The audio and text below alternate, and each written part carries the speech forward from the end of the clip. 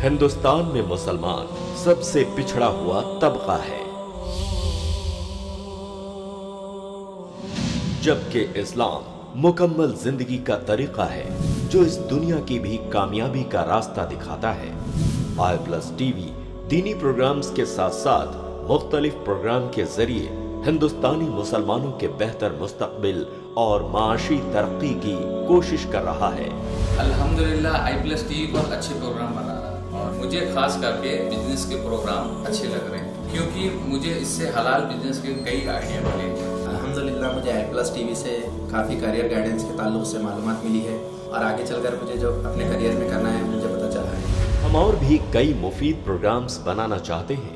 आई plus TV एक मददगार हाथ बनने की कोशिश कर रहा है हिंदुस्तान के 20 करोड़ मुसलमानों के लिए।